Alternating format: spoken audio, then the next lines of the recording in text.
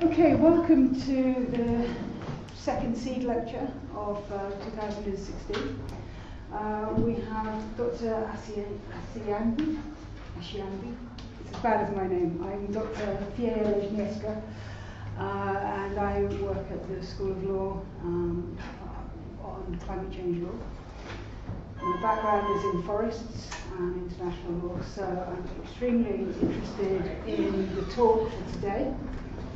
The talk is looking particularly at the establishment of new markets, frontier markets, we might call them, in terms of nature within a sort of neoliberal construct. And it's particularly exciting to have a talk about Nigeria. Uh, I've covered this subject for many years, and there's very little written about forests and Nigeria generally. And to have one specifically on red plus new markets, neoliberalism, is going to certainly add to the developing literature in this field and the critical perspective that um, is going to be given here. So I'd like to welcome you uh, and give my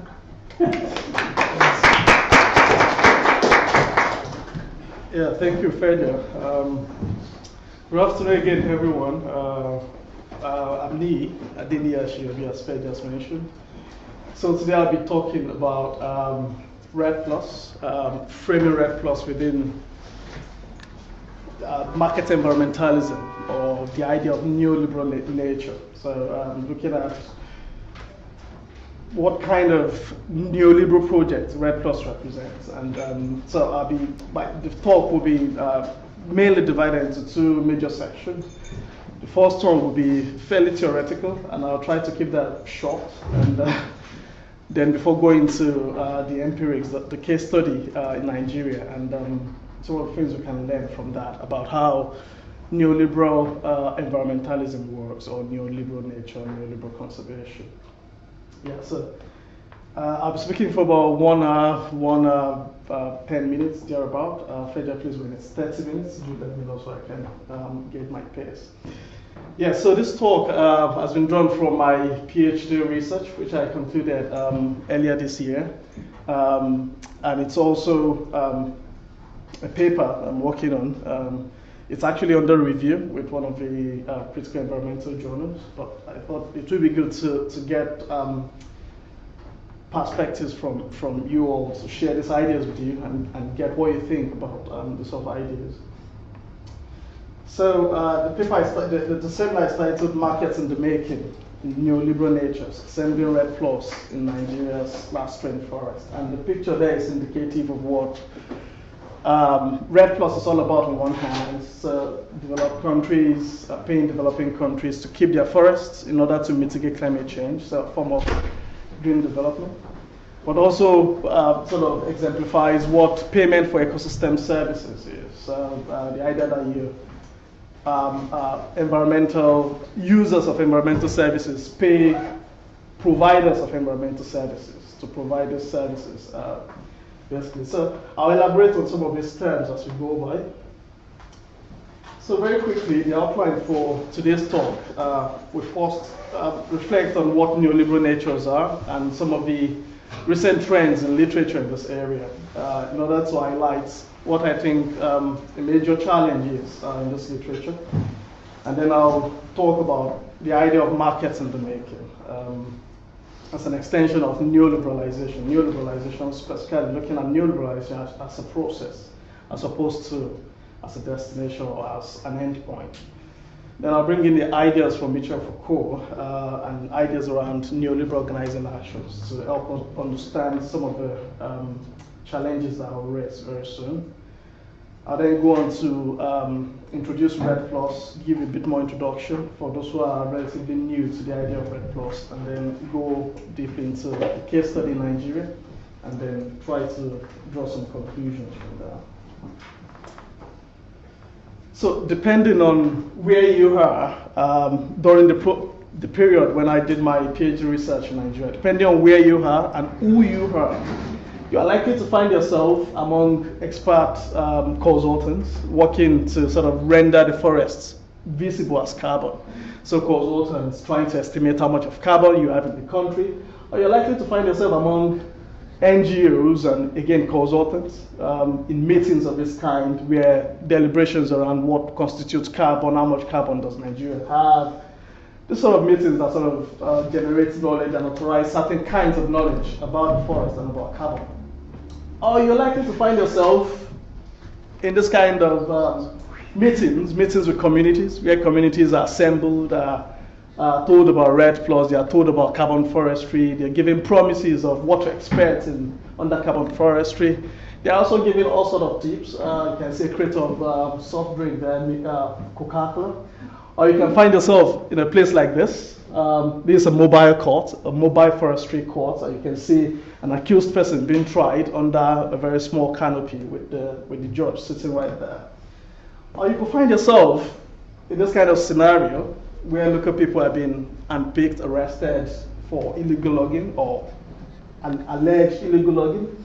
Or you can find yourself in companies of um, uh, foreign conservation uh, actors who are championing REDD+, but also championing forest protection alongside. So with, with all kinds of weapons, there's, there's a gun uh, lying there.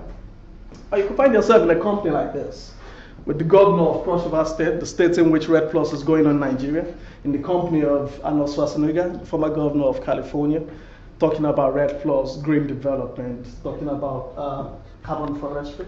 Or you could find yourself among critical NGOs who are campaigning seriously against REDD+, campaigning against uh, the whole idea of commodifying the forests um, and uh, the threats that that portends for communities. Or again, you could find yourself among NGOs again, taking over the roles of the state, of state actors, uh, representing the states at all kinds of meetings and events. Or you could find yourself in the company of military men who have been drafted um, uh, to, to, sort of police the forest for REDD+. So depending on where you are and who you are, you could find yourself in any of these circumstances, any of these, find yourself in any of these companies. So the question then arises, with this sort of heterogeneous uh, uh, element, you could see all kinds of all kinds of um, meetings, all kinds of gatherings, from military intervention to meeting in California to meetings of NGOs to to meetings with communities. You could see uh, the states uh, uh, imposing uh, um, force on, on, on, the on the forest landscape. So with this heterogeneous elements, the question then arises whether a project like REDD+ is actually neoliberal, whether it's actually seeing the states being rolled back as it's expected under a typical neoliberal project, whether you, we're actually seeing uh, uh, the market principle being prioritized. I mean, you also want to ask the question, is a commodity regime really emerging in a project of that nature? So uh, are we seeing uh, um, uh, trade in, in, in, carbon credits, for instance, or carbon offsets? But are we also seeing incentives in this sort of projects that sort of deploy force to, to, to, um, to render the forest available as carbon? So that's the, that's the sort of questions that, that I will try to, to um, ask and try to also provide answers to this evening. And these sort of questions are important, not just for REDD, they are important because it's precisely the sort of complexities I showed you earlier that, that uh, scholars in this area are pointing to when they consider neoliberal projects on the ground. So our neoliberal projects have been pursued on the ground. They also point to all kinds of complexities, difficulties, the, the very idea that this project do not only deploy uh, market elements, they also deploy elements that are totally against the, the idea of market environmentalism. So they deploy force, uh, and sometimes rather than provide incentives to, to communities for them to give off um, action on the forest and then embrace conservation as it were, this project deploy force sometimes. Sometimes they deploy subsidies rather than incentives. Subsidies comes from the state rather than subsidy, uh, rather than incentives that come from the market, for instance. But they also point to the fact that the implementation of this sort of projects are very minimal, very thin on the ground, so that while there's a lot of noise um, in the policy circle, actually what's actually happening on the ground is very thin. Um, and in fact, in some cases, this project has fallen, so they are reaching a dead end um, that, that um, um, scholars are beginning to point out the sense in which some of these projects may not be neoliberal. Some of them are asking, are these projects actually neoliberal? And um, a very typical, um, a very exemplar um, example of, of neoliberal nature project is payment for ecosystem services, which is like the umbrella project for the kind of um, schemes that get environmental services provider in, in contact with environmental services user for them to have a voluntary exchange basically. So you have all kinds of projects under this from forest projects, kind of carbon forestry project, to biodiversity offset projects, to wetland projects. Uh, so basically getting local communities, for instance, or groups together to provide, to sort of secure environmental services, which is then made available to, to users of these services. So scholars of payment for ecosystem services are essentially pointing to precisely the same sort of complexities. What is expected of uh, a typical PES scheme, payment for ecosystem services scheme, is a voluntary um, association between a well-defined uh, buyer and a, and a pro provider or producer of environmental services, negotiating over a well-defined environmental service uh, that must be provided, that must be secured on the ground.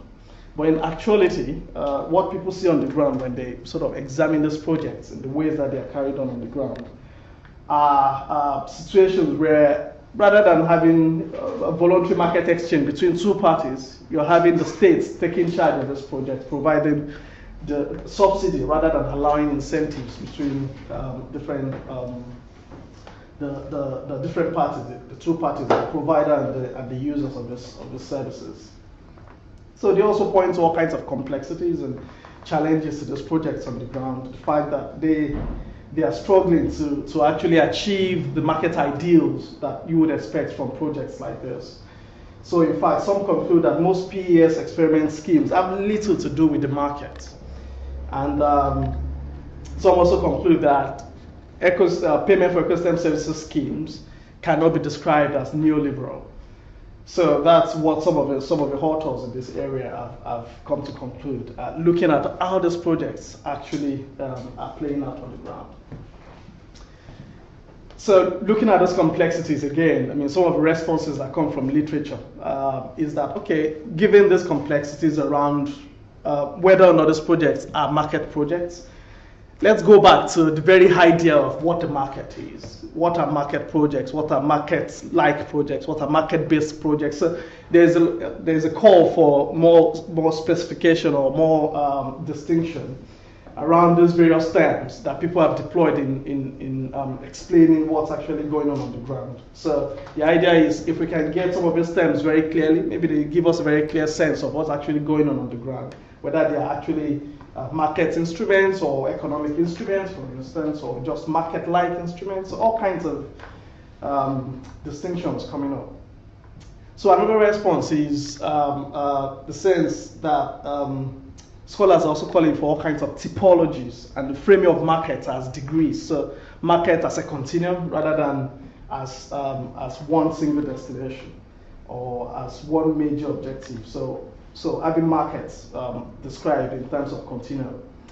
But some, some also are, some, some, some scholars in this area are also pointing to the fact that if indeed uh, ecosystem services projects do not have the market elements that people expect them to have, then could we then suggest that they are not fostering the kind of capital accumulation uh, uh, ideas that, that uh, critical scholars are up against? So that can we then um, sort of appropriate the schemes in more progressive ways uh, in, in trying to sort of actually address environmental problems rather than frame them as uh, projects for capitalist accumulation. So uh, these are responses from PES scholars more, um, more specifically. So PES scholars are scholars who focus on PES schemes, which is a very narrow um, aspect of neoliberal nature. But today are scholars of neoliberal nature who have also been grappling with this complexities for a while. Uh, so um, um, about the close of last last uh, decade, for instance, you have many of the scholars coming up to sort of also grapple with the same complexities, but so they, they tend to suggest that what we need to do is basically qualify neoliberalism. So qualify what neoliberal projects are. So you have ideas around hybrid neoliberalism or variegated neoliberalism or rollout neoliberalism. So roll out neoliberalism in particular um, roll up neoliberalism in particular is supposed to be the opposite of roll back neoliberalism. So neoliberalism is expected to uh, roll back the state, roll back the influence of the state. But since what what has been observed on the ground is actually the growing um, um, interest of the states in this sort of project. So people are trying to suggest that could we be experiencing a form of roll-out neoliberalism as opposed to roll-back neoliberalism that uh, people have always, have always expected of market schemes of this nature. So, but more recently, in fact, earlier in this year, uh, and Fletcher, who are major scholars in, in neoliberal nature, uh, also came up with this idea of multidimensional neoliberalism to sort of help us qualify uh, neoliberalism to take account of the complexities of, of projects that we're observing on the ground. So, so one of the major conclusions that uh, scholars in these areas have always come back to uh, is this idea that regardless of how these projects play out on the ground, regardless of the fact that they are incomplete, discontinuous, hybridized, differentiated, complex, whatever the, the, um, the evidence is on the ground, all this evidence do not suggest that these projects are actually not neoliberal. So, so, and the reason they have said this, I'll come to in a second. So, the reason is precisely this. If you look at uh, Noel Castree, another major scholar in this area, um, has come up with this three, uh, three uh, dimensions of neoliberal nature, neoliberal projects, which I think is very, very crucial. So, he talks of neoliberalism or neoliberal nature, first in terms of an overarching philosophy. So if you think of the philosophy propounded by the, the earliest uh, propounders of neoliberalism, people like von Mises Hayek, uh, Walter Eucken, Ronald Coase, for those who are familiar with these people. Uh, then the Chicago School, which has been um, at the forefront of neoliberal projects in the world, say from 1960s onward. And uh, the sort of framing of neoliberalism that people like um, um, David Harvey, Neil Smith, and um, O'Connor and Michel Foucault, the, the, framing of neoliberalism that they critique, they, these people critique this overarching philosophy. So we can, we can then begin to see how, on one hand, neoliberalism is an overarching philosophy, but beneath that philosophy, you then have all kinds of general policy programs. So you can have neoliberalization of nature, for instance, which is different from neoliberalization of education or neoliberalization of healthcare or neoliberalization of of, uh, of other dimensions, other, other aspects of social life, which is a, a, level below the overarching philosophy. And then from these general policies, you then have more specific policies, more specific projects. For instance, the Payment for Ecosystem Services or RED REDD+, which are very specific projects under the neoliberalization of nature. So the, the, the, the, the, the question here is that scholars of payment for ecosystem services who earlier concluded that PES schemes are non-neoliberal have limited their analysis to this level.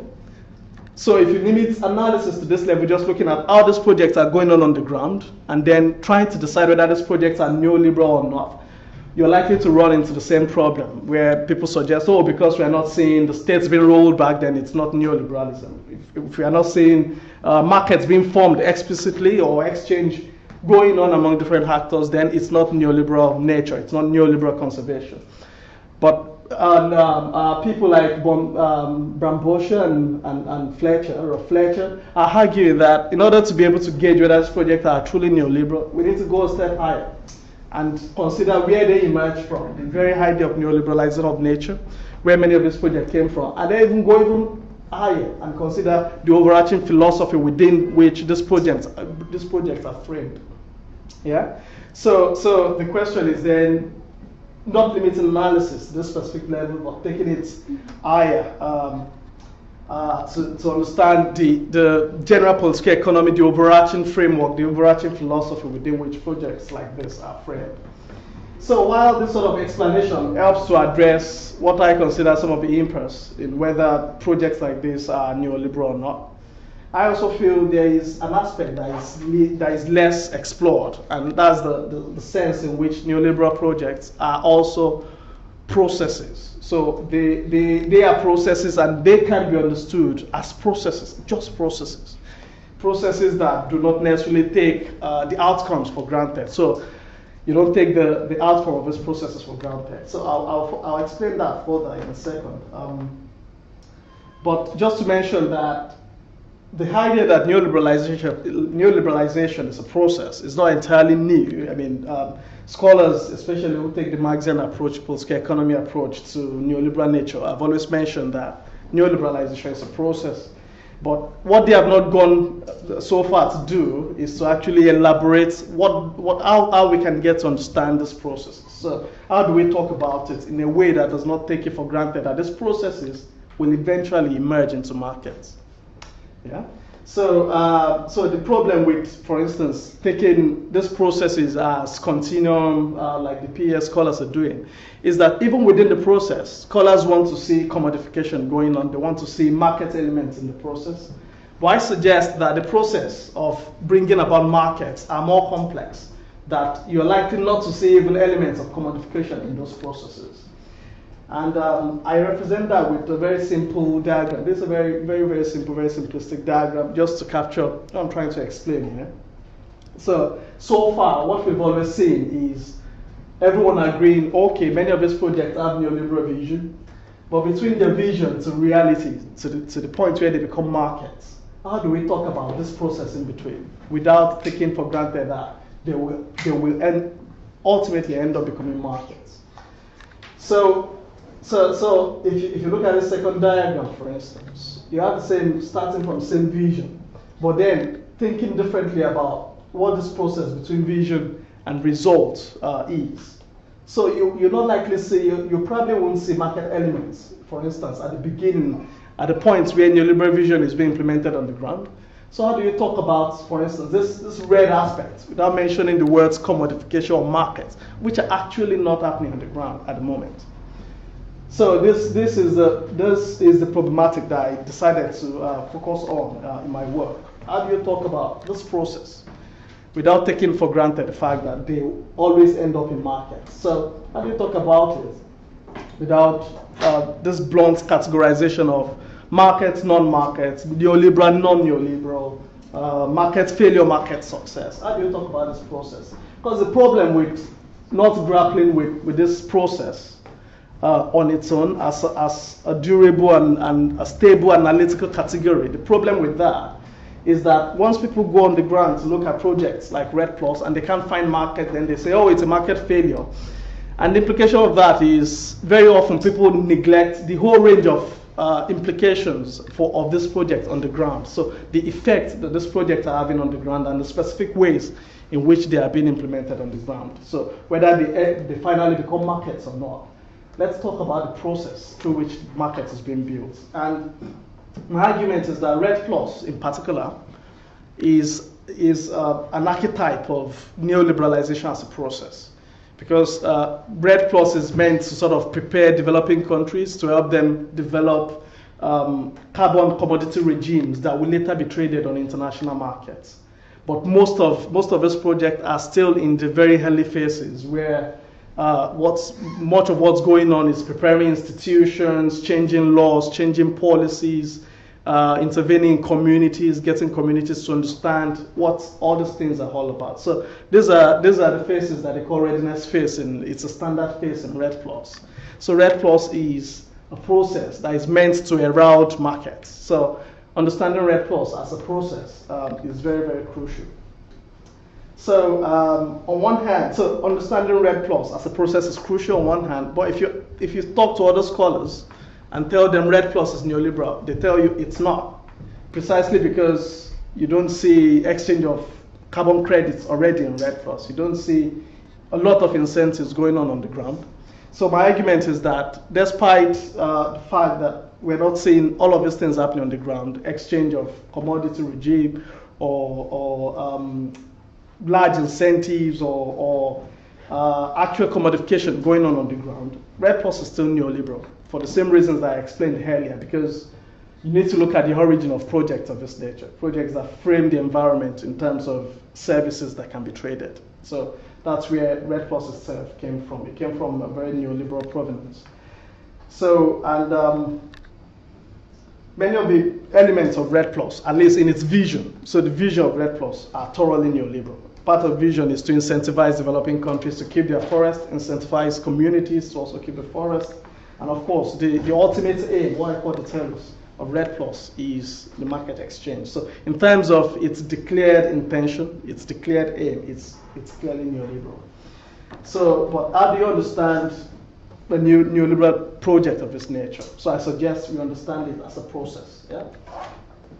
So, and because of the, the, the lack of uh, vocabulary of talking about or elaborating neoliberalization as a process, because of lack of vocabulary, especially in the Marxian literature and the political economy literature, I found uh, very useful elements in, in Foucault's elaboration of, of neoliberalism to, to grapple with this, with this uh, idea of um, neoliberalization as, as a process.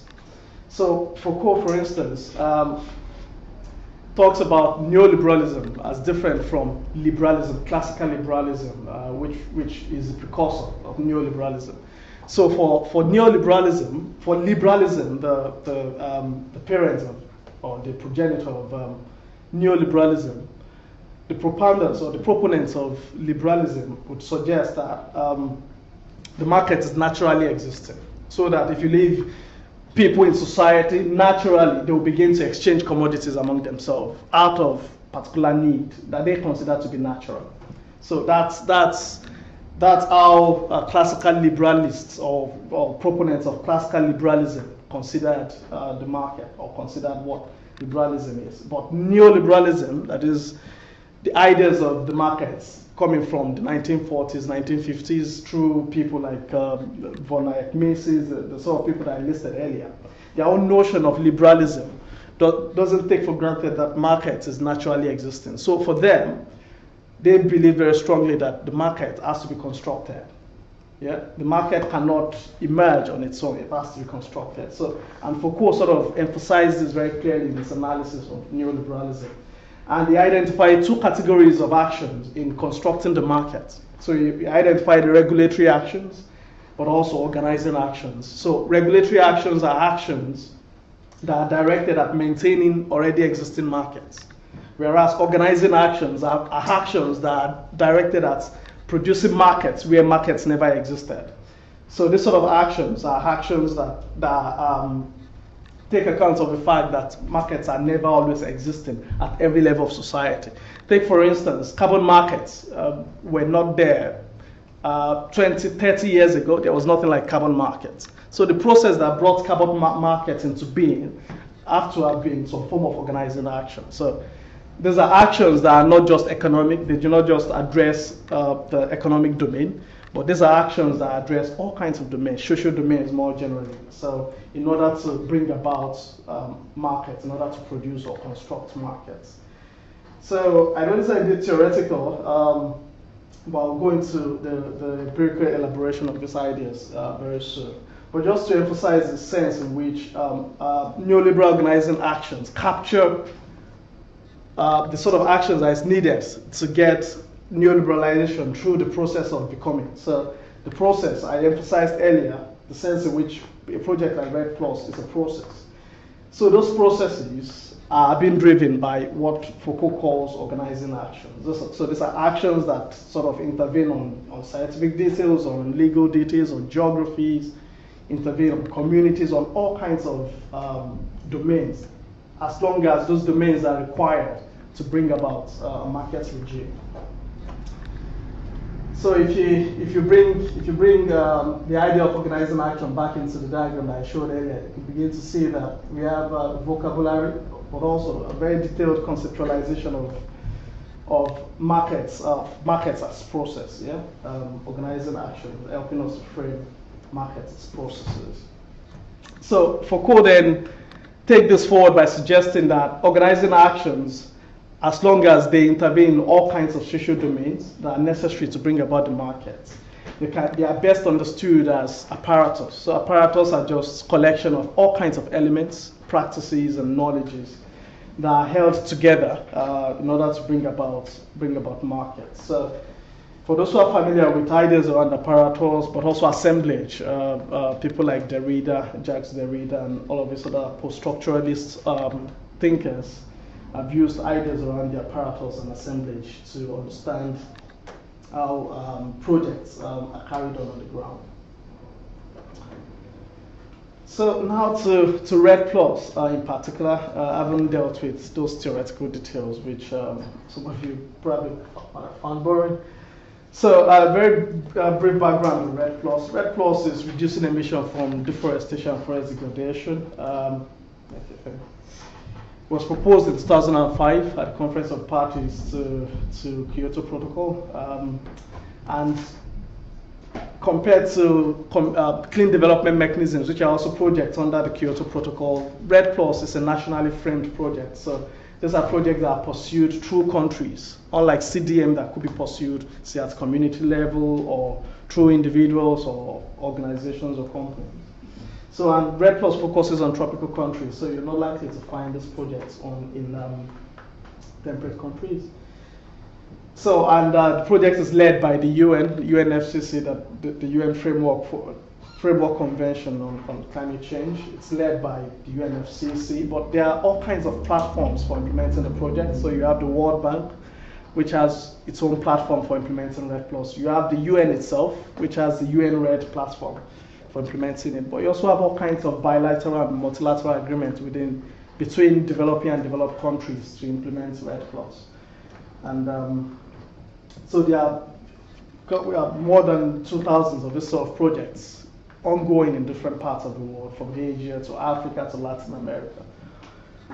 Um, so the, the, the, the, aim of REDD Plus is very clear. Um, first is to reduce carbon emissions very cheaply by sort of offsetting emissions in developed countries by uh, through forest uh, sequestration of carbon in developing countries. But this project also promises what they call co-benefits. Those, so those are benefits beyond just carbon mitigation. Benefits that include um, fostering uh, uh, better livelihoods for local communities, but also conserving biodiversity, um, improving forest governance, and uh, also the very general idea of protecting, conserving uh, forests. So these are sort of core benefits that REDD Plus promises. So, and um, funding for REDD Plus comes through, at this early stages, much of the funding comes through grants. So grants from developed countries to developing countries. But the aim is that these grants will prepare developing countries to, to begin to generate carbon credits that can then be sold in international markets so that ultimately the aim is to shift it into uh, the market regime. So it's also part of uh, what scholars have framed as the green economy or yeah, so REDD Plus in Nigeria. This is a map of Nigeria for those who are not quite familiar with, with the country. Um, so groundwork to implement REDD Plus began in 2008, um, but formal implementation of the project began in 2014. And uh, Nigeria's project, uh, Nigeria's REDD Plus, is being supported by the World Bank, um, World Bank's platform for, for REDD Plus, which is the Forest and Carbon Partnership Facility. It's also been supported by the UN platform, which is the UN REDD, and then uh, the California-based Governors Climate Forum. So these are the platform that sort of provide the funding, the finance, but also technical expertise for Nigeria. And Nigeria's project just came out from the readiness phase, which I explained earlier, the idea that um, those projects are meant to prepare, uh, prepare the ground for market exchange. And then it's been piloted in one of the 36 states in Nigeria. So which is Cross River, which is this uh, very small uh, uh, area here. Uh, Cross River is, anyway, relative to, to certain countries, it can be a country of its own. It's the size of Israel or Slovenia. So this is a map of Cross River where the project is going on. So it's a national project. It's been piloted in Cross River, and then in Cross River, it's been piloted in specific community areas. So community clusters around there, three cluster areas. So these are the pilot areas for REDD Plus in Nigeria. Just to mention that this forest is part of a, a major biodiversity hotspot, uh, the Guinea Forest Biodiversity Hotspot. And it also, it is claimed that this forest has more than 50% of what is left of Nigeria's tropical rainforest. So the area is very, very important to conservationists. There are a whole range of conservation projects that have been going on in this area for several decades. So I, conduct, I conducted fieldwork uh, to gather data on this project uh, between 2013 and 2014, and um, I gathered data through all kinds of means, um, uh, in-depth interviews, for instance. I went about observing people in their everyday activities, observed uh, bureaucrats and, and state institutions, observed uh, implementers of REDD Plus, but also communities, and also looked at archival documents. And so the, the major um, frame of analysis is Foucauldian discourse analysis. Um, so now to results, to, to the results of, of this case. So again, going back to, to the idea of um, organizing action as apparatus. So REDD Plus is an apparatus. It's being carried out through what I regard as six major regimes of practices, uh, and which are linked to the general idea of creating a carbon market. Yeah. So this is what you have in a typical organizing organizing action. Organizing action are always a disparate combination of different things, but those different things are categorized under these different um, categories. These categories emerged first from Foucauldian uh, ideas of governmentality on one hand, but also uh, literature on, on assemblage and apparatus, and then combining those two ideas with what I actually saw happening on the ground, um, what, what I, what's actually going on on the ground as far as REDD Plus is concerned. So I'll start and go through each of these very quickly. So problematization, so very central to ideas to create regime of market. It's always the idea that certain aspect of reality will be problematized, so framed as, pro as problems in need of, of, of um, solutions or improvement. So in the case of Nigeria's REDD Plus, you have these narratives about deforestation crisis in Cross River. You know, I, I, earlier indicated how very important Cross River is, is to Nigeria. So to declare a crisis in a place like that is to uh, sort of call for uh, very serious intervention. So there's a so by by framing uh, uh, uh the crisis in Cross River in terms of a very major uh, catastrophic crisis, proponents of carbon forestry sort of justify why there's a need for a project like REDD Plus in Nigeria. So in particular, um, an environment summit was convened in 2008 in which um, proponents of this of this summit came up with a communique. In this communique, they came up with three major, three major recommendations to the state government. To the state government. The first one is to stop the generation of state revenue from forestry. So historically, the states, Cross River State, has generated revenue from, from forestry, from timber exploitation, by granting licenses and all kinds of permits to people to go log, to go convert the forests for timber. So the second, um, second recommendation is to declare a moratorium. So that's a, a, ban, a total ban on logging for two years. That was what they recommended at first.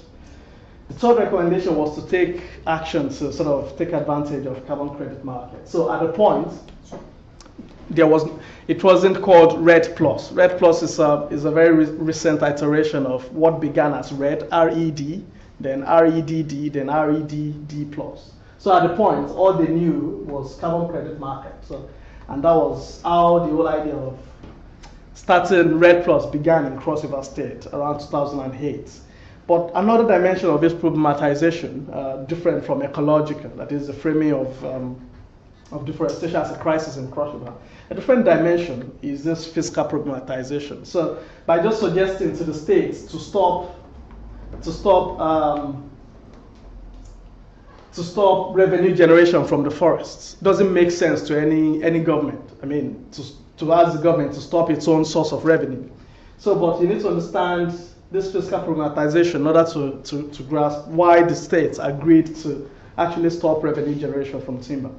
so Cross River State has also been going through a very serious financial crisis um, since about 2007, and this crisis is due to the fact that it lost some of its crude oil wells to a neighboring state through um, legal litigation. So, and crude oil is the most important source of revenue for, for all government levels of governments in Nigeria. So it lost those oil wells, which made it uh, um, um, cash strapped on one hand, but also the state also accumulated huge debt over a number of years. Um, so that in 2009, the governor sat down and began to think of new ways, very, very, uh, um, very new and creative ways of generating funds for the state. So And they came up with these ideas of fostering foreign direct investment on one hand, but also uh, attracting international donor grants on the other. So when, when the governor was told that a project like REDD Plus is, was going to bring huge uh, funds from international donors, the World Bank and the UN, it made very perfect sense to him. So, and the fund that was promised to, to, to the government, for instance, through carbon funds, was far more than what he could ever realize from timber revenue. So it made sense for him to stop timber revenue uh, and actually impose a ban on, on logging in order for REDD Plus to take root. So this fiscal privatization added to the ecological ones sort of uh, uh, solidified the need for REDD Plus in Cross River. And this, is a statement uh, that the uh, state governor kept making in, in his uh, budget speeches, uh, the idea that they expect significant finance from, from REDD Plus on one hand. But just to mention that till the end of the governor's tenure in office in 2015, he kept uh, expecting this fund, but by the end of his tenure, the fund had never come to Nigeria. So he expressed this dissatisfaction, um, disappointment at the fact that the, promises of huge carbon funds never materialized. Never materialized.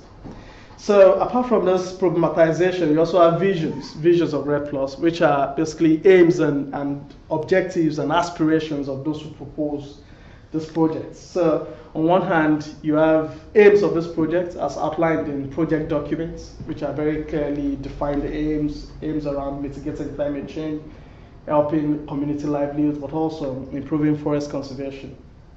But you also have uh, discusses the ways that proponents, so individuals, consultants, uh, championing this project, they talk about the, the aim of this project in a very different way they talk about it in more optimistic, more totalizing, more grandiose ways, in ways that sort of also foster uh, inclusion and participation among different actors. So these are some of the ways in which um, proponents of the, of the projects talk about the aim of a project. So take for instance this statement by the regional coordinator for REDD, who has been very central to, to the project in Nigeria.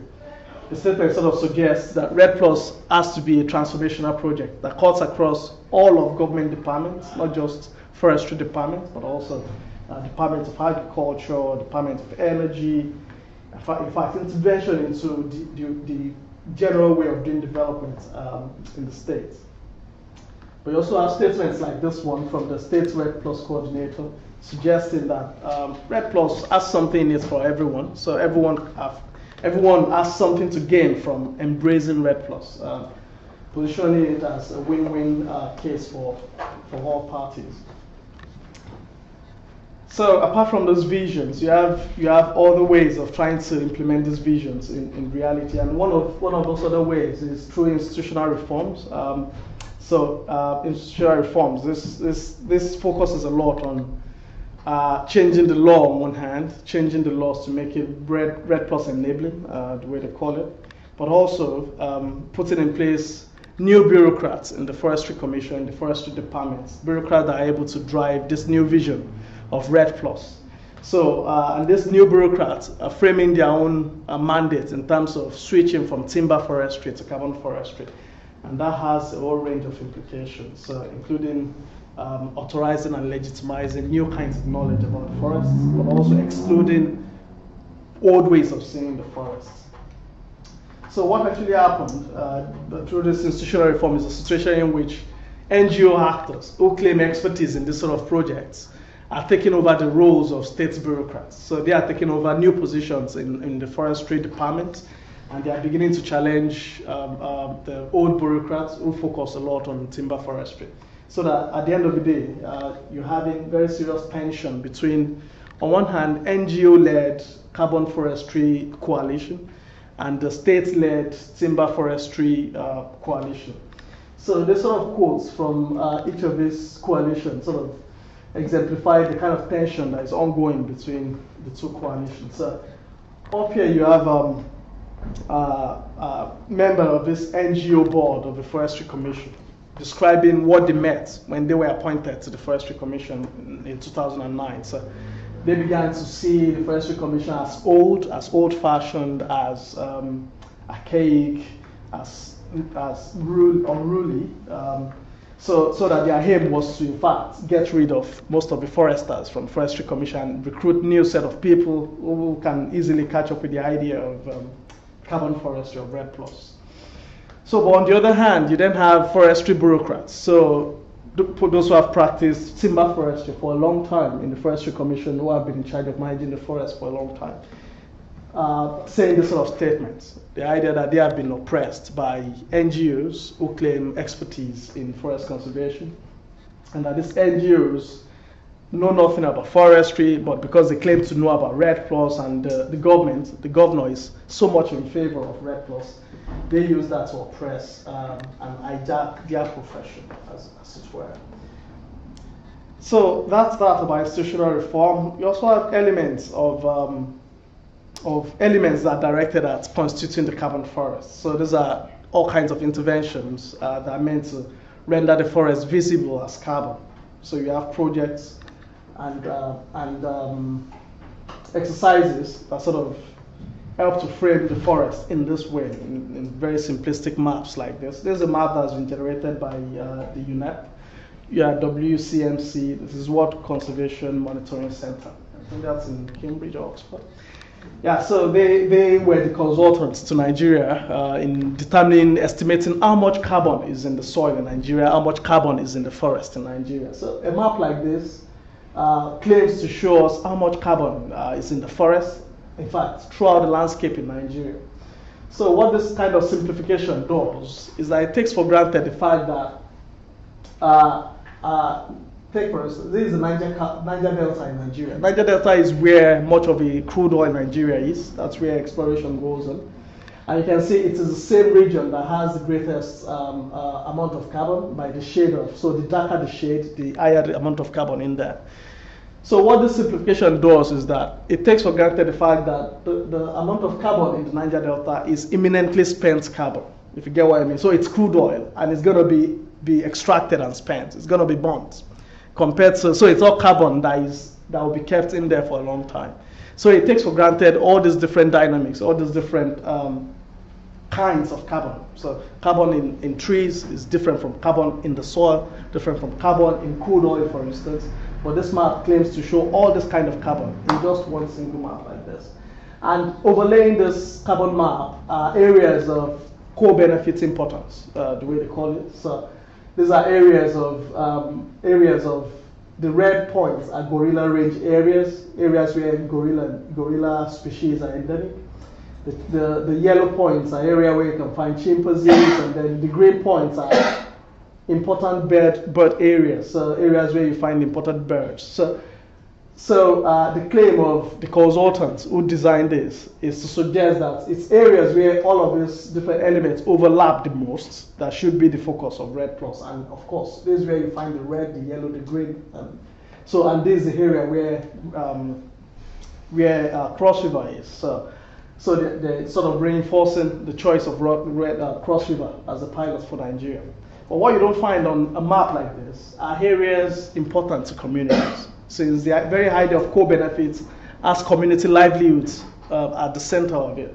But a map of co-benefit doesn't even have anything to suggest areas are important to communities. So part of the activities required for constituting the carbon forest again is rescaling. So as this kind of national maps uh, are, translated to reality on the ground. Um, uh, proponents of this project have to come down from the national scale to, to cross river scale to, to uh, state scale. But even further, they also have to do a whole range of rescaling efforts in order to, um, to, to make these areas ready for and ready and feasible for, for REDD+. So one example is this idea of clustering community forests. So in, in one of the proposals, the, the proponents have suggested that if you go by each of the individual community forests uh, to sort of propose red REDD+, the community forest would be too small to sort of meet the economics of scale that you need to generate sufficient carbon or to in fact attract finance for red REDD+ in Nigeria. So they suggested the idea of clustering up communities, rescaling them, clustering them up. So, and as you cluster forests, cluster communities in this way, you also raise tension within these communities. Because what actually happened on, on the ground is that the more communities are told you're going to be joined together with these other communities as a cluster, the more these communities want to map out their own portion of the forest. So the more they are told, ah, you, you have to now operate as clusters so that we can do it, the more communities want to sort of be sure that the basis for their own benefits uh, is clearly demarcated and clearly, and it's, all this is generating tension um, in communities.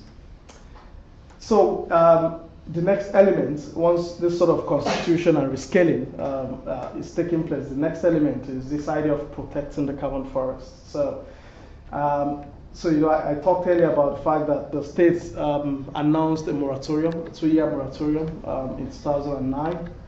This moratorium has been extended indefinitely.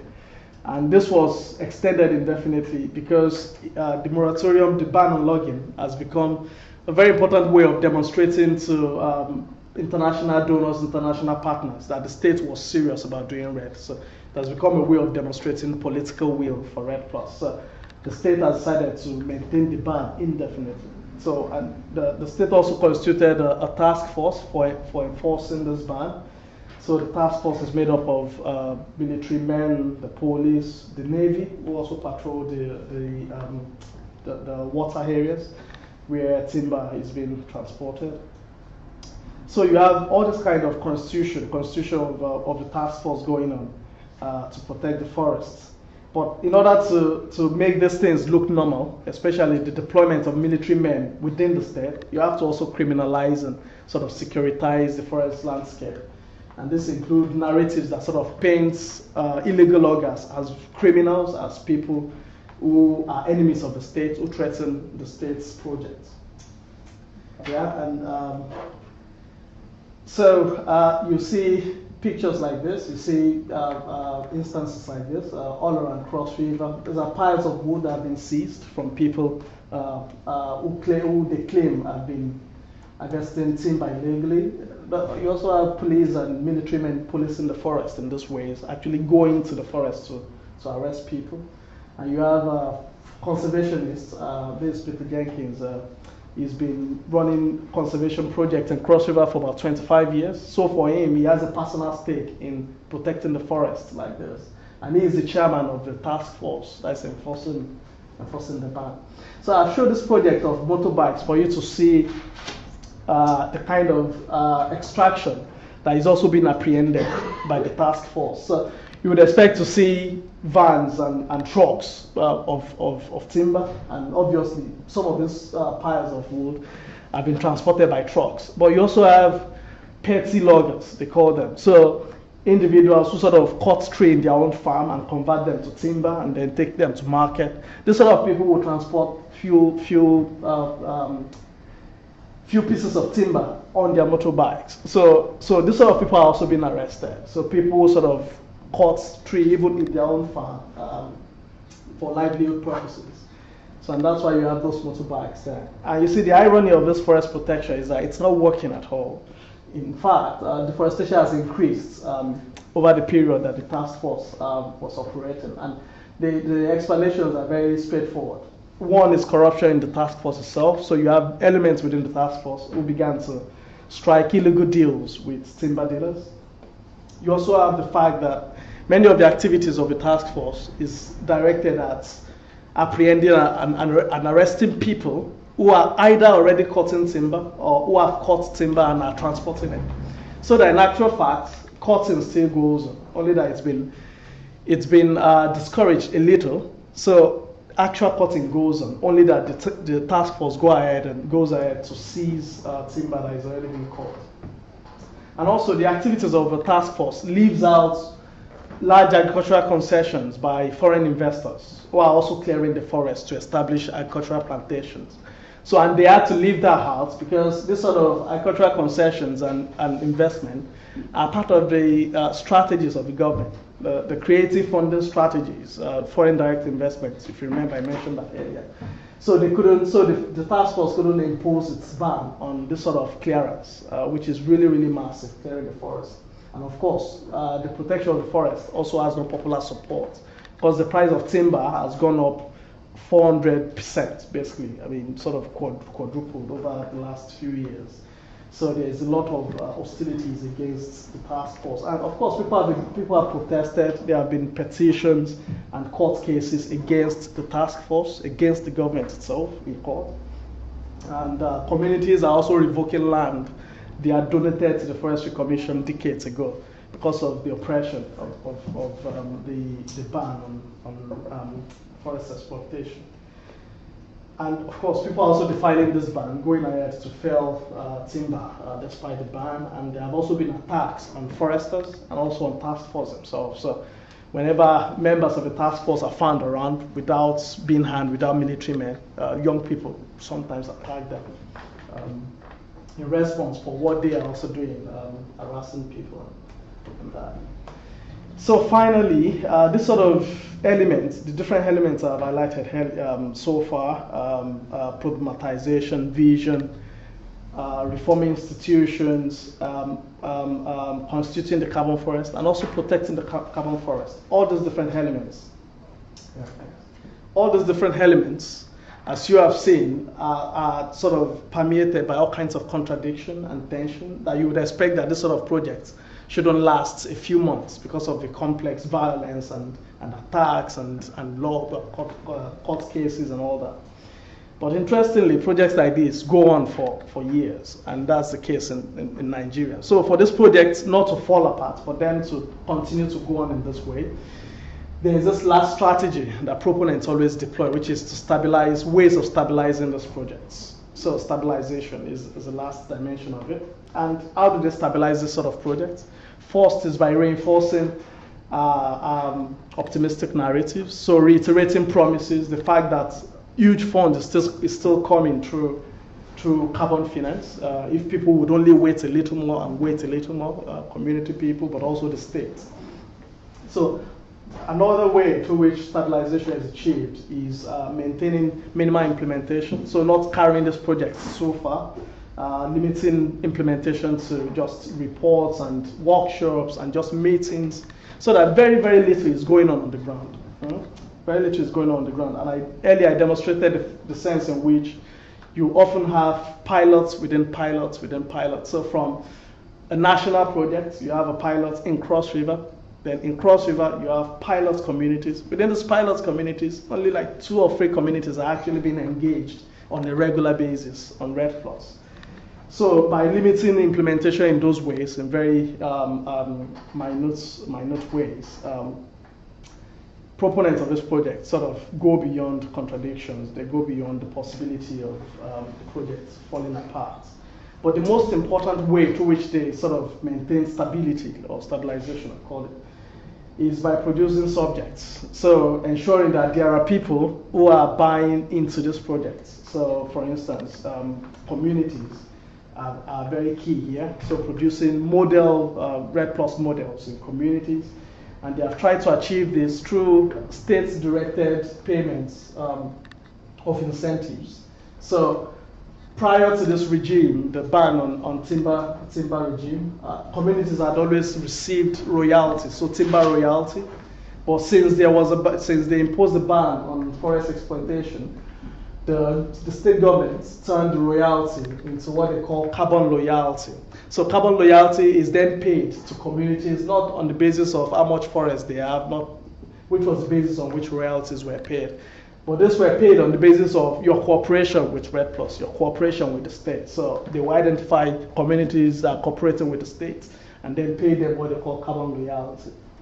So this sort of this sort of strategies help them to sort of continue to get people, communities, and people within the states who are interested in REDD and want to see it continue.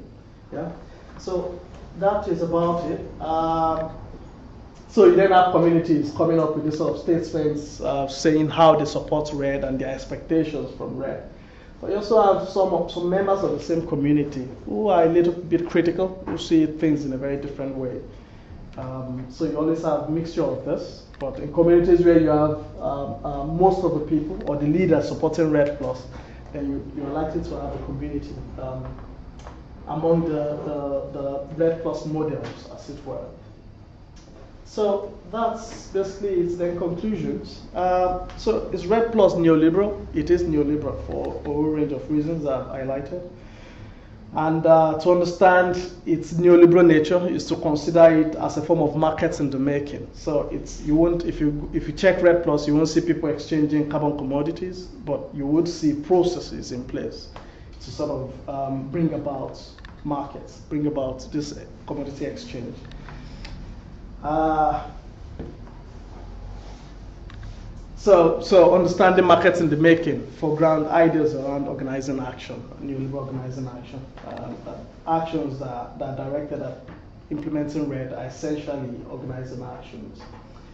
And what's also important is this idea that the market outcome is not guaranteed. And that's why we need to sort of analyze these processes as processes. We can't wait until until we see the market before we can declare them neoliberal or not neoliberal because the market outcome is not even guaranteed. It's not guaranteed that REDD Plus will emerge into a community regime of this kind.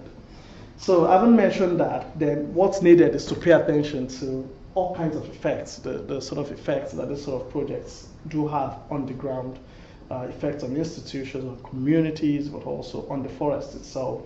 And in this case, I've shown that the effects on institutions is, is not helpful. I mean, you have tensions within the Forestry Commission.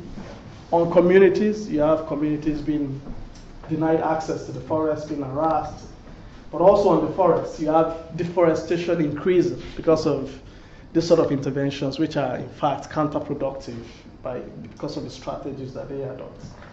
So uh, that's where I stop. Thank you very much for listening.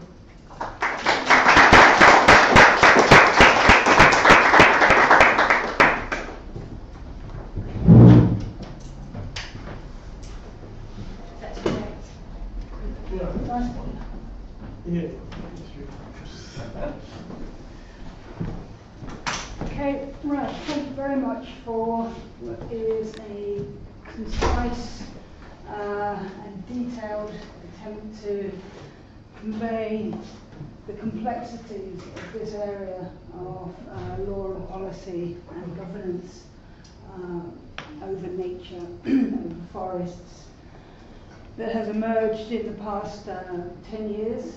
Um, REDD Plus began initially in, as an idea, a concept in, under the United Nations Framework Convention on Climate Change back in 2005, as you said. I found the paper very interesting in terms of detailing the theoretical background behind the, the process of markets. That this is a process, it is not a process which is uh, going to end up as an idealized goal, but that goal is part of the communication and the logic which is invested in and used by different actors to achieve different objectives in different locations. And what's very interesting about uh, Nigeria is the context. You, know, you have the desire for not only preserving, say, gorilla sanctuaries um, and ensuring that you're getting um, uh, community-based forestry successfully operating, but you have the conflict as well between the, the state level extraction and the, the economics of that with the extraction for carbon. So this is this transition to a new green economy. In a particular context, I think in the, one of the final uh, quotes, somebody mentioned colonialism. Uh, and a, a, key part of the critique around the processes of transformation is the context of colonialism in each country and, and the effect that that had on each community. So th this is an important part of the critique because some people are very clear that this is a, a reconfiguration of colonialism, a new appropriation, a new frontier in terms of the greed market uh, at, at, multiple levels. And as you say, it, it, it doesn't end up with any REDD plus emission reduction credits as yet after the process of 10 years. Uh, and the, la the language is it will be coming. And that, that happens, that's going on at the international level. It's going on in every forest in Asia, in Latin America, and, and in Africa. So sadly, this isn't an issue that's going away. That's how I feel. Uh, but uh, what I'd like to invite everybody uh, is to direct your questions um, and discussion points um, to DA and let's um, have fruitful discussion. Yes. Yes, please. Yeah, sorry. I also wanted to refer back to that last quote. I haven't got a chance to read all of it. Um, yeah, and as, as you know, also I'm interested in the subject of how neoliberal natures um, is a neo-colonial project as well. So I don't know if you have something from your research that um, you could speak to that. Yeah, definitely. You- know, um, like I said, there's there's um, there's one major chapter in my thesis. So I have a whole chapter on colonial forest conservation. So, and one of the major arguments I've made in my PhD thesis is the fact that this is, in a very strong sense, in a continuity from colonial forest conservation. So you see, there's different, uh, the same kinds of logic, the same kinds of um, ways of treating local people, um, paternalizing, patronizing ways of treating local people. Uh, the same idea that local people are the problem. So in this case, you have um, uh, the state stopping uh, local people from entering the forest, accessing the forest. On the other hand, you then have international investors who are doing precisely that. They are clearing more forests than local people. So historically, from colonial times, it's always been like that, criminalizing uh, local people, criminalizing their livelihoods, and then allowing capitalist interests to sort of grow bigger and all that. So, of course, in the ways that the communities also see all of this, I mean, they embody the experience themselves. Many of these are stories told and passed down from generation to generation. And in fact, the very presence of forests, um, forest reserves around them remind them of how those reserves were constituted in the first place. So it's always through the process of excluding local communities, which is again playing out all over again in REDD Plus. Uh, REDD Plus, which is supposed to be um, a way of voluntarily incentivizing conservation, is, is in fact is in force. And this is not just in the case of Nigeria. I mean, there have been many other countries where it has required the use of force to sort of secure REDD Plus areas or guarantee that these sort of areas will be um, protected in the future. So there is a lot of continuities, a lot of resonance between um, between the colonial um, forest conservation, now, now colonial forest conservation treated communities, and now um, REDD Plus um, currently treats community. And again, it's always the north against south. And here also, it's north against south. Even if the states, if the if the post-colonial states is used as a go-between, uh, it's Yeah. still the interest of um, the global north that is being pushed Yeah. through the post-colonial states. So, yeah, so essentially that. There are other other um, similarities I highlighted in my work, and we can talk a bit about that. uh. When will we be able to read? Which one? This this one This one is still under reviewed. review. review. I, I'm not sure yet, but I, I, we can talk about that.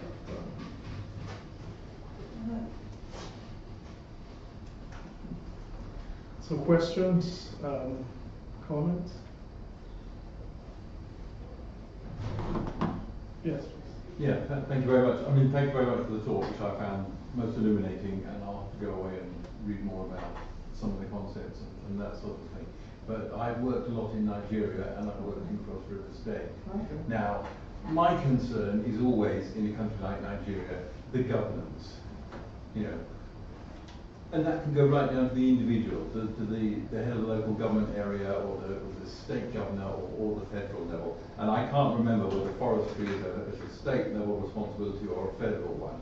But essentially, um, th- there seems to be an awful lot um, weighing on this REDD Plus sort of bringing home the bacon Mm. and, and delivering. I mean, it, the, your, I thought these were good quotes. Mm. But um, there is, there's been a problem ever since independence that, that government, the Nigerian authorities have not delivered roads, safe water, schools, and healthcare.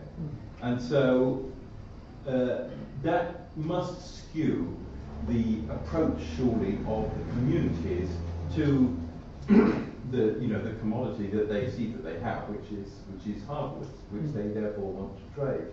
Mm. Um, and you, you you're saying that uh, in Cross River State is um, is about 50% of Nigeria's remaining tropical forest, and I would be surprised where is where is the rest of it because I thought it was it was pretty well all gone.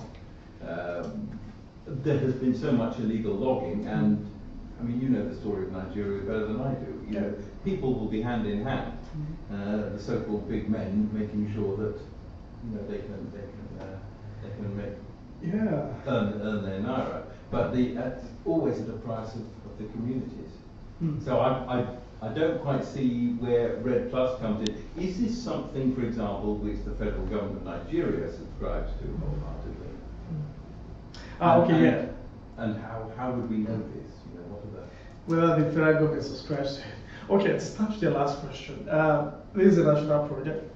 It started off in Cross River because that was where the environment summit was. That was where the conservationists, where many of them who brought in the idea of REDD Plus in the first place.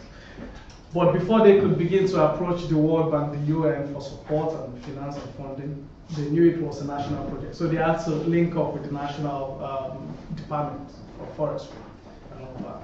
So National Department of Forestry is, so to say, a figurehead, kind of, and all they do is just uh, working on paper. And that's not only because this started in Cross River, it's also because in Nigeria, uh, the federal government does not have claim to land and forests. So the land and forests are owned or are um, held in trust for the people by state governments. So that the federal government couldn't have done anything on the ground anyway. So all they did was just paperwork, and that's what they continue to do in REDD Plus. And that's why Nigeria's form of REDD Plus is a nested REDD Plus, where implementation goes on both at national level, um, policy and paperwork, but at the um, state level is where you have engagement with communities, where you have um, more interaction on the ground. So that said, uh, I think your point is the fact that Nigeria is a peculiar case. Um, if I get what you're saying, that it's a peculiar case where where you are likely to have this sort of situation in almost any project that comes in. If that's what you're insinuating. But my, my response to that would be that things are not as simple, as straightforward as that. I mean, um, um, in fact, even in terms of how the state, the Nigerian state, has foster development, as um, embraced its own people, and in time, in looking at it in that way, uh, you won't have a very linear picture. I mean, you've had uh, military times, you've had civilian times, you've had times of economic boom uh, in the 1970s where infrastructure was built almost everywhere in the state. You've also had times of structural adjustment program where the World Bank and others came and told the states to sort of disengage in all kinds of projects and limit its impact, and that push a lot of people into poverty. So it's always, always mixed, and it's difficult to have a a linear picture. But what's also important to note is the sense in which this Nigerian experience, of course, um, uh, has been shaped by context, uh, militarization in particular, um, and the form that it has taken Nigeria, it has taken Nigeria, has been shaped by the Nigerian context. But you also have very, very similar um, narratives coming from other cases of REDD Plus. From Kenya, for instance, uh, you have cases of similar cases of communities being disempowered and being uh, being um, displaced in Uganda. In, um, so you have cases you know, here and there of, of this sort of violence related to REDD, um, the cases that sort of demonstrate the sense in which communities have been marginalized. And the fact that REDD Plus benefit is not materializing is also universal, like um, Feja uh, earlier said. I mean, the promised benefits either to communities or the huge finance promised to states are not happening. And states are, on one hand, investing part of their own. So they're in Cross River, for instance, uh, before they started receiving funds from the from the World Bank and the UN, the state had been budgeting part of its own finance to sort of prepare for REDD Plus. So you have investment from the states in this sort of projects that is not yielding anything. That's why the governor came back and said REDD Plus is not yielding any, any return on investment for you. So I think the, the picture is fairly more complex. Uh, some of these narratives you see in other cases of REDD Plus. Uh, the Nigerian context, of, of course, structures how, how any project at all would, would, would play out. But what we're saying is there have been other projects in the past that haven't, this, that haven't been this, this terrible. Um, um, there have been interventions from, from the USAID, the DFID, participatory community governance, all kinds of projects in the past that haven't been this this really bad. So, to my mind, it's on one hand a combination of all kinds of factors, some contextual, but also global factors. Um, the promises in REDD Plus, the approach of REDD itself, um, um, a totalizing approach in which um, rather than take REDD Plus as one of the um, one of the tool, tools for forest management. REDD Plus has been taken as an overarching strategy for managing the entire forest in, in Cross River. So and that's it, that's very problematic. And um, as long as the international partners and proponents do not weigh in on these sort of complexities and sort of denounce them and sort of make very strong statements and in fact if possible uh, caution the state do all kinds of things to show that they are not in support of this because the, the violence and the militarization that is going on in River is constantly being shown to the World Bank, the UN, to tell them that we are protecting the forest for REDD. We are serious about it. We are doing it. And uh, so, so there is complicity from all kinds of actors, and not just the Nigerian states, the always bad states. So that's where I see things. Yeah. Yes. So would you then, is that what your view of it is globally? Are there any examples globally where there have been um, communities benefiting and their interests not being marginalised, or has it just been this top-down um, approach that's having similar results everywhere? Uh, REDD Plus is difficult for me to see to, to see where communities are getting the kind of benefits they have been promised, or benefits that are commensurate with how much they are giving up in terms of livelihood access. There hasn't been any project that pays communities in commensurate, very commensurate, tangible ways for what they are losing from REDD Plus. So, of course, in many other projects, it may not be, have been as severe as this. I mean, um, communities being barred from entering the forest at all, being criminalized, being um, taken to court. So it may not have been this severe in some other countries, but I, to my knowledge, I don't know if Feja knows one where communities are being paid REDD Plus, not PES. So REDD Plus are national projects. PES cases are different because they operate at smaller scales, all kinds, different kinds of scales. So Yeah. for PES, you might have commensurate to the work. But REDD Plus, because it's national, it's always top down. It's it involves um, going through the states. So you can't have REDD Plus outside of the state, and that Um, makes it complex. I think you made a very important point about how you configure REDD Plus within our country because you may get one or two communities benefiting, and, and again, that's a qualified term because what do we mean by benefit? If you link it to development, is it about finance? Is it about provision of some service? Over what period of time? Um, and, and, and what do you have to give to get that benefit? You know, what do you have to give up in terms of access to resources or um, have to take on uh, responsibilities like monitoring, reporting, you know, to the government, using technologies that are not really part of your culture. So the, what we mean by benefit is complex. Mm. But you, you were raising that point about the, com- the conflict between communities because suddenly there's this sense of, well, we could get something, still not really knowing what it is, but based on these promises. And, you know, there's antipathy between communities mm. and there's animosities which go way back and have got nothing to do with REDD Plus, but it's an opportunity to bring them out. Uh, so there are numerous examples, uh, you know, in uh, yeah, everywhere. Um, in uh, Bolivia, in um, Peru, in Ecuador, in uh, Vietnam, uh, they're, they're nearly everywhere where the forest uh, agencies have taken on REDD as a strategic way to manage the forests, um, you, it's, it's had an impact which, um, which we're only starting to get more and more sort of information about because this is, you know, t- the, the pilot projects and nested projects, they've only really started to kick in in the past two, three years, I mean, to be honest. Yeah, and, and, and, and your point about illegal, or the reconstitution regulation ending up criminalising activities which were previously fine, uh, this fits into another parallel narrative and discourse in international and regional forest law, which is on illegal trading of timber and uh, illegal harvesting of timber.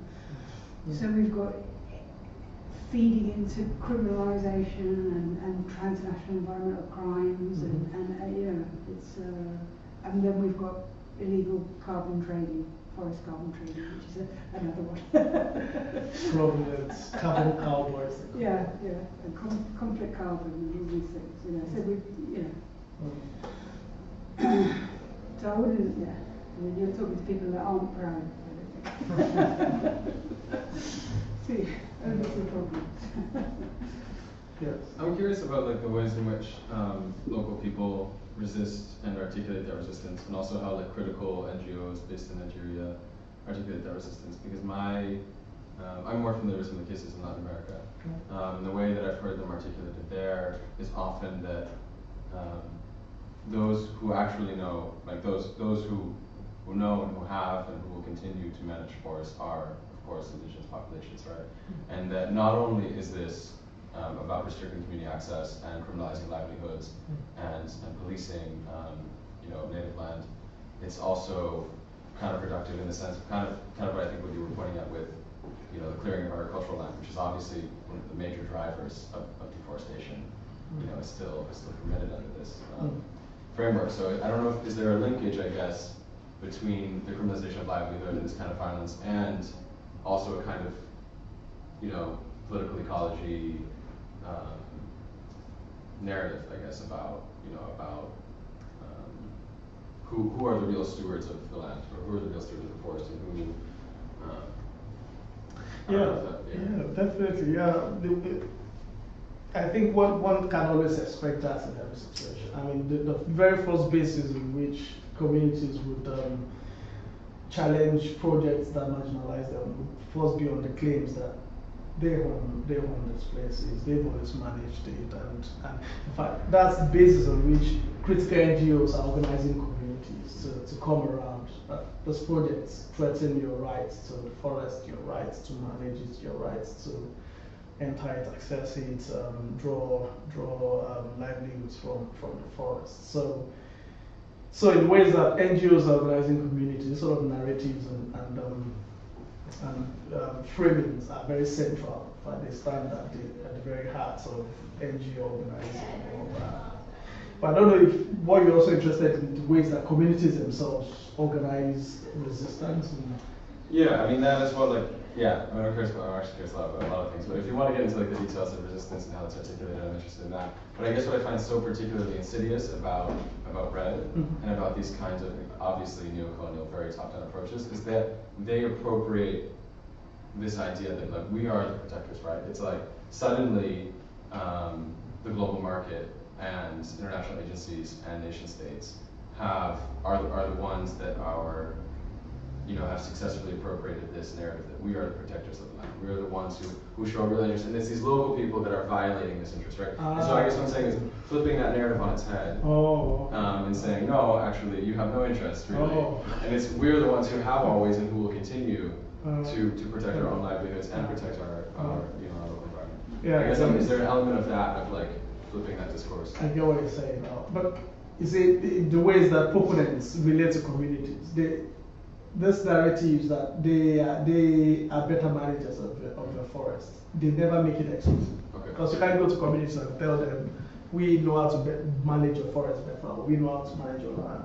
So in, in papers, in discourses among proponents, they of course, uh, they, they suggest this kind of narratives. But when they go to communities, they still tell communities, your land it to be your forest, when the carbon comes, to be your carbon, it to be your money, to be all of that. But critical NGOs see beyond those um, said and, and begin to organize communities to reinstate their claims to forest. In fact, some are, some are taking REDD Plus as an opportunity to get their claim to land formalized. So, communal claims, of course, not, not uh, individual claims. So, in the way they, they're saying to the states, if you truly, if you truly say we go in the forest and you're coming to us for rights to carbon and all that, then give us something that, in fact, formally shows that we own the forest. So, whereas state had um, uh, um, recognized de facto claims of communities, so communities are taking opportunity, this opportunity to claim jure rights, so rights enshrined in law and all of that. So there are elements of, of that uh, ongoing uh, in the ways that both the communities and the NGOs who are critical of REDD offering resistance towards towards REDD.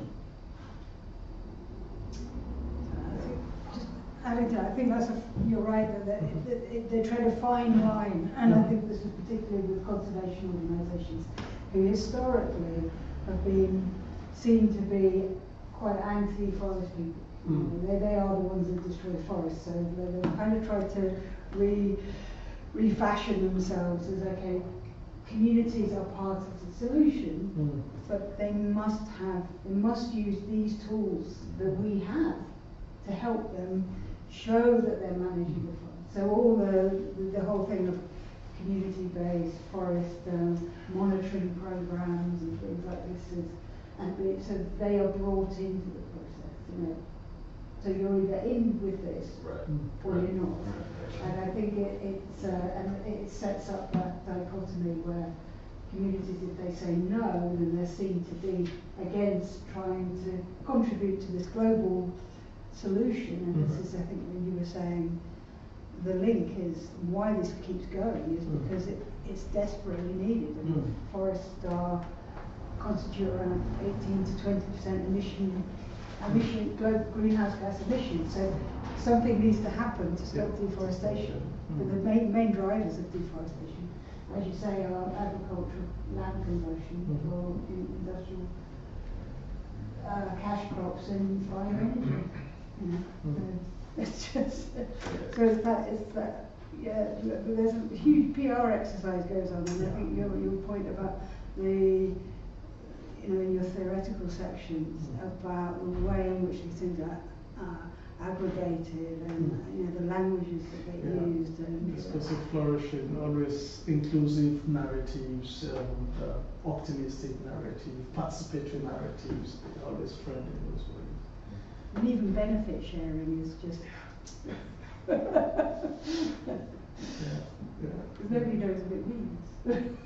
Yeah, actually, with that question, like what benefits um, were promised or are expected to be seen, um, specifically in Rica, in the Rica communities? Okay, in communities. Okay, can see those statements. So, as people were telling me those statements there, part of what they told me was in 2009, uh, the first uh, REDD Plus mission that came to them told them that by 2013, they said first quarter, in fact, they were that specific. They told them the year, told them first quarter of 2013, they all should expect to be millionaires. And those were the words that the communities used, that they, were, they would get so much money that each one of them would be millionaires. And many of the communities believed that. So I was told this in the Kwesa community, I was told this in, in the Kuri community. And that's, that's precisely why communities feel these promises have not been realized, because they were actually told the deadline. So if we're not told when to expect it, it's easy to continue to postpone it. But communities were given specific deadlines like that. They were told they, were, they would receive so much money that so they were promised money. They weren't they weren't they weren't told uh, alternative livelihoods and all that because they were told the carbon will be sold for money. So they were told by 2013 you, you will your forest will be generating carbon credits which will be sold on international markets that will generate so much money for each one of you to share. So those were the things that communities were told. So, so they were told those uh, specifically, and of course, communities began to also think of what to do with this sort of money. and that's where they began to say, ah, okay, we can then send our children to school, we can make borehole in our communities if we have this much money, and that's why you have um, this, this kind of um, statements also in addition to that. But what they were told um, was that.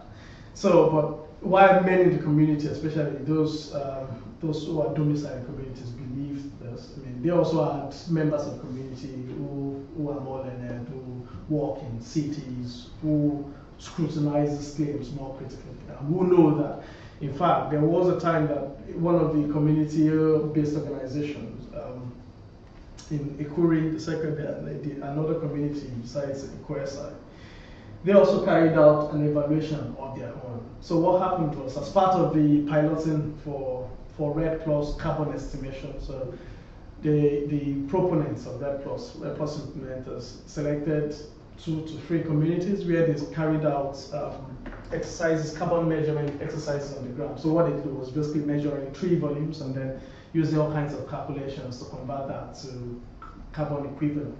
Yeah, and they involved some of his community members in, in, in that. So one of the actors in the community organization went ahead and did a calculation, extrapolated from that one plot for all their forests, and then looked at how much they will actually get for one for in one year for carbon increments in their forest, taking account of the fact that their forest, as they claim, has been around for 2,000 years. So, so the communities claim that their forest, their forests have been around for 2,000 years, so that whatever carbon they're measuring in it at the time they were doing the measurement had accumulated for 2,000 years. So they divided the amount of carbon by 2,000 years, looked at how much they have in one year, and see how very tiny the money that will actually come to them by the price of carbon um, in the international markets actually comes to. So essentially what I'm saying is, while on one hand many community members believe that they will be truly be millionaires, on the other hand, um, um, those who are more learned in the communities are engaging more critically and showing that in fact, going by um, the cost of the, the price of carbon in the international market and how much it takes to accumulate significant carbon in their trees, in their forests, the amount that will come to them will be so insignificant, so meager. So some of them are also critiquing REDD Plus on that basis. You said that um, organization actions are part of the government apparatus um, for creating a market regime. Yeah. While the REDD Plus actually provides the vision for that um, carbon market exchanges, what actions are the government actually taking to promote any action in the cross-border pilot? Yeah, but you see, the, the organizing actions are all kinds of visions of one kind, but also practices and actions of the other. So each one of these, in fact, if stabilization is one, one form, one category of action, I, it involves all kinds of little, little actions on, on their own. So from, uh, um, um, so payments, for instance, payments, paying carbon royalty instead of royalty, actions that limits implementation on one hand, but also reiterating promises and narratives. These are actions. I mean, they are not just visions that are written in paper. These are things that the states and REDD Plus implementers and uh, proponents of REDD Plus do on a regular basis. Protecting the forest is, is also an action. It's an everyday action. It's not just a vision written in paper. Does that answer some of what you're asking? So many of those things are actually actions. This is the only one that is vision in there. So reforming institutions are actions. They've changed the law in 2010 and they are changing constitution of, of um, government institutions. So it's only uh, this vision that captures the aims documented in the paper, but also the aims as they speak about it. Almost every other thing are actions. So all of them, all this, including the vision itself, everything comes under under organizing action. So all of them, problematization, vision, institution um, categorize all of this as different elements of the organizing actions. So organizing action is not necessarily um, doing, it's doing on one hand, but it's also speaking. Speaking is also action, you know, um, reiterating narratives and all that. But does that answer your, your question? Yeah. Okay. What are the stabilizations? What? So these are activities that keep this assemblage from falling apart. Mm-hmm. Because of the complex and the contradiction and the tension. Mm-hmm. So you expect that projects of this nature don't go very far.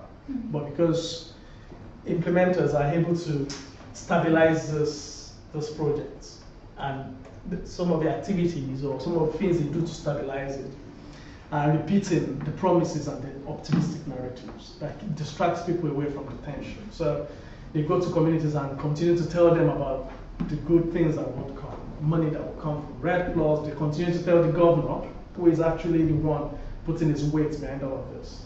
Continue to tell him that just wait a little bit. Uh, this finance is coming from the World Bank, that is coming from UN.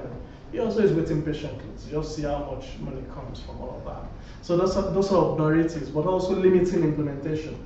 Because to, to spread this kind of projects all over Nigeria will cause chaos very quickly. So they limit it as much as possible to so from the national, they limit it to Cross River. Even within Cross River, they limit it to cluster communities, and then cluster communities, they pick just one or two communities within those clusters. But So also, because they realize that the project is not really feasible um, Yeah. at that scale, you know, there's pilots within pilots, within pilots. Like. yeah, yeah, yeah. Mhm. So, so, so essentially that. These are all kinds of strategies, and here have. I have a, a whole chapter on creating subjectivities among mm. communities using this kind of narratives, but also using carbon royalty payment that I mentioned earlier. So looking at communities that cooperate and then giving them money and saying this is loyalty. This will replace your formal formal timber royalty that communities used to receive based on the amount of forest they have and how much timber is being taken from their forest. That determined royalty, but now it's carbon royalty. So those are deliberate strategies. So that communities conserve and then they're given money um, in Yeah. exchange Yeah. for So not just for conservation. So you might be conserving, but you are critical. You are, for instance, taking the, the government to court over the violence of the task force. You are not cooperating in that sense. So their definition of cooperation is subjective to them. They determine it. It's not written out anywhere. So it's not just about the outcome, but the process of Yeah. cooperation. Yeah, the process of cooperation. I also, I'm not sure, maybe I just missed the part where you were talking about this, but I'm just curious how it is that these international markets that were supposedly so promising have been materialized. Like, what, what is the state of the international carbon market at the moment, and how it, how is it that it's not um, giving the kind of returns that were forecasted? The explanation for that is complex. Uh, part of it is because part of it is okay. There are, there are all different kinds of elements that constitute that are brought into the international carbon market. So there there are car- carbon cap and trade projects. Mm-hmm. So these are projects, for instance, in California where people are given permits to emit, to permits to determine how much emission they could do in a year. So if you're able to emit lower than your permits, then you sell what is left of your permits to someone else who wanted to emit more than their own permits. So that's cap and trade. That's capping how much people can emit, and then people can trade whatever balance or, or deficit they have. So those sort of projects tend to work fairly smoothly because they are well defined within particular industries. The actors are known and listed. They are, and they are carried out in developed countries. In California, for instance, I don't know which other country does cap and trade. So those ones tend to work fairly well. Um, anyway, well, not necessarily in terms of reducing, not not in terms of reducing emission, but there are exchanges going on, and people make money from that. But the sort of markets that are linked to projects like REDD Plus, it will be difficult for them, to take off, I mean, because of this kind of complexities. Because on the ground, these things aren't working. I mean, it's difficult to, to, to exclude people and then to uh, use the military to exclude them and then expect them to stay quiet. You know, this kind of complexities limits how much this sort of project can translate into global climate exchange. But there, there are mainly most of the um, carbon market exchange that, that, are, that are ongoing, I won't call them successful on the basis of reducing emission, but successful on the basis of actual transactions are going on. They are limited to the global, global north, except the ones that are, are linked to payment for ecosystem services, which are often very small, discrete projects, maybe with one tiny community somewhere where one uh, company comes and says, okay, if you keep your forest for five years, I'll, I'll give you this money. The, the, the company is known, the communities are known, they can interact. And And that's often a state uh, project, right? The state uh, pays for these ecosystem services. Yeah, so that's the argument that in many of these cases, the state pays, or in many of these, in some of these cases, some of this money come through the states to communities. But there are cases where companies and, and corporations actually pay directly to communities. But these are again payment, yeah, small scale kind of projects um, that generate emission savings and all of that. But the challenge I think with carbon trading, sorry. I could add something. Yeah, uh, by all means. But I was, I was going to say this last thing that the, the part of the major challenge has been the price of carbon itself, which is, I think, there's just the complexity around that. The fact that the price keeps falling since the first day that they've managed to determine. I don't know how they determine the price of carbon in the international market, but the price has kept falling, which means that there's no there's no incentive to look forward to that market because the price of carbon anyway is, is much lower than what you get from timber or so for Frederick. Yeah, I mean, REDD Plus was part of the International Climate Change Convention. It's included in the Paris Agreement. It's been negotiated for uh, the past uh, 10 years. And there is no actual market within that system as yet. Right? So we've got a Paris Agreement entered into force, but we haven't got a global market for forest carbon trading. And there's no global market for carbon trading. There's, um, there's different national and regional systems. There's some agreement for fungible trading, so they have to be equivalent, the types of certificates you're trading. And uh, land use, what's known as land use, land use changing, forestry, uh, carbon certificates are still not seen as equivalent and, and trustworthy enough To be marketable. to, to be to trade with a just a regular carbon trading, like say for emission reductions from a coal-fired plant, which you can calculate quite easily. It's harder to calculate emission reductions from uh, from changing forest activity like, accurately. There's queries about margins of error between like 30 to 70, 80 percent, depending on the type of forest, depending on the type of tree, depending on the type of land. You know, just so, so there's all the complexities around the marketization and the fungibility in the trading, which still exists. Right, so that's for anybody that's even pro the whole thing.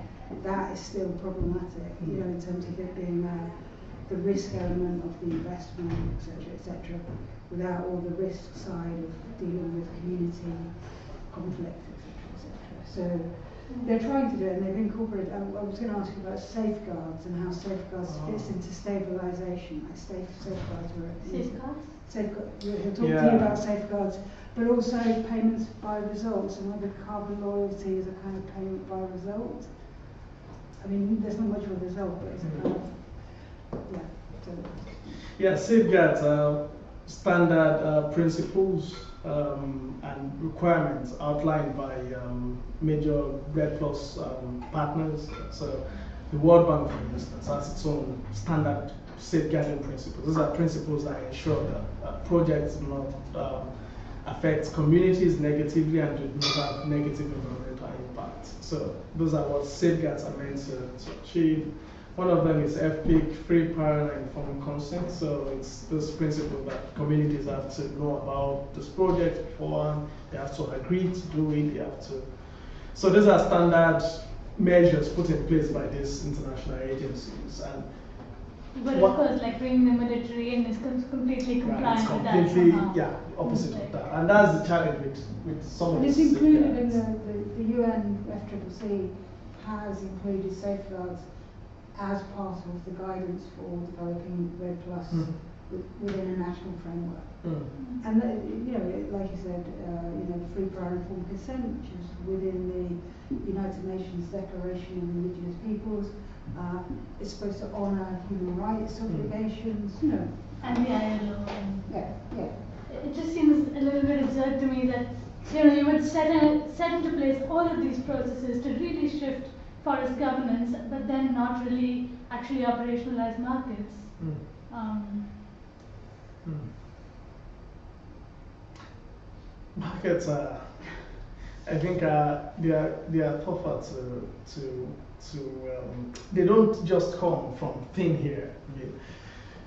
They don't, it, they are difficult to construct, honestly, than to just make a number of rules and say people follow it. Even these rules, these safeguards, the fact that these things could be happening in Nigeria means that these safeguards are safeguards on paper. Implementing them is a different case entirely. The FPIC, for instance, the, the proponent just went to communities and told them, we are doing FPIC, they are come and write your names and got uh, members at a particular meeting to write their names, maybe with their signature in front, so they go present that to UNF. You see, the communities have agreed to do it, whereas communities didn't know precisely what they were doing with um, those documents. that. So it's, it's one case putting in place safeguards, another place um, implementing that. It goes back to what the gentleman said about governance, and in Mm. many uh, tropical forest countries, uh, governance is a real challenge if you're talking about establishing the processes, not just the substantive objective, but the processes to realise that. you know, Mhm. um, procedural change, and, and et cetera. Um, and like you say, you just, yeah, we did that, we did Yeah, that. it's a good, it's a good. And, and also communities are very receptive to the opportunity. You know, these are often very poor and desperate, vulnerable people. You know? um, and I think you know that's another aspect. So can I start on, uh, REDD Plus, who was pushing it? How, how come it ended up in the, in the final The, uh, communique or whatever? Mhm. Yeah. Because it sounds as though it's theoretically interesting, but untested and seems pretty irresponsible to Yeah. to launch it on the launcher spectrum. You know, in 2005, uh, these ideas were actually championed by developing countries, Brazil, Yeah. uh, Costa Rica, They're called, they're called the Coalition of Rainforest Nations. Yeah. Right. Um, and it was within the Kyoto Protocol. Hmm. You have all known as flexibility mechanisms uh, to realise emission reduction targets. have Huh? asked. I know I shouldn't have and, and one of those was known as the Clean Development Mechanism. Right. And that was, you could, as a developing country, you could have projects in your country that led to emission reductions, and you could trade the value of those emission reductions with countries that had legal obligations to reduce their emissions. So they could take those emission reductions, carry on their pollution, buy those emission reductions which were cheaper to achieve, and then uh, use them. So that forests weren't included in that, and obviously countries that had high uh, forest density that were less industrial, like so China was doing China and India got the most from the clean development mechanism. Saw this as an opportunity to, to be part of this booming market, and that's why it was kind of put forward. Wasn't it? You know, it was seen as the the equivalent of the clean development mechanism for forest co- mm-hmm. countries. Mm-hmm. You know, they could cash in on this this market, and mm-hmm. that and that was why it was seen as a huge potential market. Everyone thought it was going to be massive uh, to start with, uh, and then all the complexity kicked in. You know, because forests are complicated. There's a whole international forest regime with different obligations. It's, it's a very complicated project. Forest governance is complicated on its own. Climate governance is complicated on its own. Imagine that. You know, bring very these two together. together. The saddest thing was, um, Lord Stern, who published his economics book about climate change, he identified REDD uh, as uh, a low-hanging fruit to achieve emission reductions because he thought it was cheap, it would be, uh, we would be able to do it quickly, and uh, cheap, quick, and efficient. Efficient, And, and somebody turned around and said, well, he just had no idea about forests and forest governance and forest peoples and all the problems, you know, and that was, what, that's why we're where we are now. Whose book was that? It's, it's Lord Stern in 2007 he wrote Economics Climate Change. He's actually just brought out a new book. Uh, um, Stern. Yeah, yeah. Yeah. Done it- and he They call it Stern Review. Stern Review, yeah. yeah. It's done LSE. I think LSE. Speaking of um, forest governance, what was the kind of, I mean, community forest rights or pro- property rights that existed uh, before REDD came along in, Thank you. in Cross Yeah, thank you very much. What sort of community property rights existed um, before REDD came. Yeah. Um, so in Nigeria, uh, like I said earlier, the state has like the the dual uh, rights to land. So there is this Land Use Act of 1990, which vested all land in the state government, all land in the state government, uh, to hold it in trust for the people. So whenever the state claims to be doing anything in public interest, that's the right to take over any land for, uh, including community land. Though there is a clause within this law uh, that recognizes customary land rights. But even that land right is subject to the dictates of, of the state government. So, so while the communities can challenge other um, claimants to the land, um, can use that law to challenge other claimants, it's difficult for them to use it to challenge the state because the state would then tell them we're doing this in the general public interest, which supersedes customary um, recognition. So that at any point in time, um, community land or any kind of land at all is potentially alienable by the state um, for general, ultimate public good. So that's that's a recognized. Well, of course, communities have always they own this land. This laws came about first in 1978, then 1990. Prior to this time, communities owned the land and they've always used the land. But this laws came and then transfer rights to the states. And, but it's not as if REDD, has, REDD hasn't changed these things on paper. What it has done is basically reinforced state control of land through the use of state force, um, military, to chase out communities, even on community forests. So, yeah, I think we should thank you very end much. it.